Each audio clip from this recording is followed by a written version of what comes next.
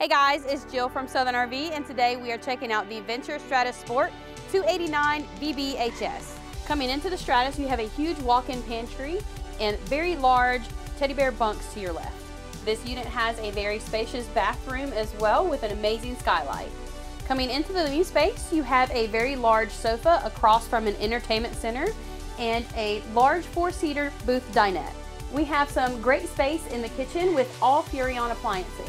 There's loads of walk around space here in the bedroom, plenty of storage, and little hidden cubby storage as well. The Stratus Sport comes with a nice outside kitchen area with plenty of storage, a refrigerator, and an LP Quick Connect. If you have any questions on the Venture Stratus Sport 289 VBHS, come on down to Southern RV in McDonough and ask for Jill.